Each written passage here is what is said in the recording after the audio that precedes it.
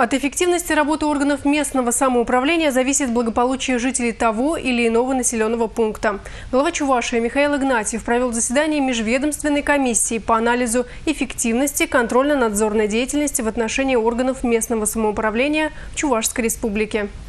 Работу органов местного самоуправления в этом году проверили уже 1200 раз. Это обязанность целого ряда контрольно-надзорных органов, в частности прокуратуры. На ее долю приходится каждая вторая проверка. Однако в последнее время наметилась тенденция к уменьшению количества внеплановых ревизий, меньше стало и претензий к местному самоуправлению.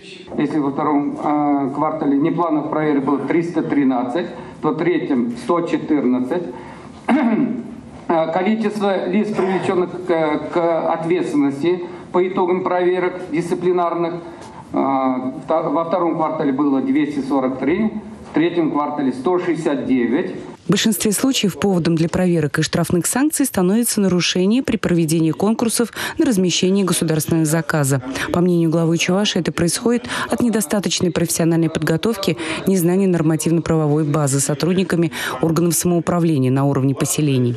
В результате дороги содержатся из рук вон плохо, строительство социальных объектов неоправданно затягивается, мусор не вывозится. Есть вещи и похуже. Детей-сирот не могут обеспечить жильем из-за того, что по итогам конкурса выбрали выбран недобросовестный подрядчик.